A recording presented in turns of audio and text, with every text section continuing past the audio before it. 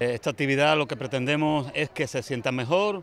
Hay en Cádiz, sobre todo las enfermedades, ya sabéis que son enfermedades reumáticas, mucha gente mayor con problemas de artritis, artrosis, y lo que pretendemos es que se vayan mejor de lo que vienen.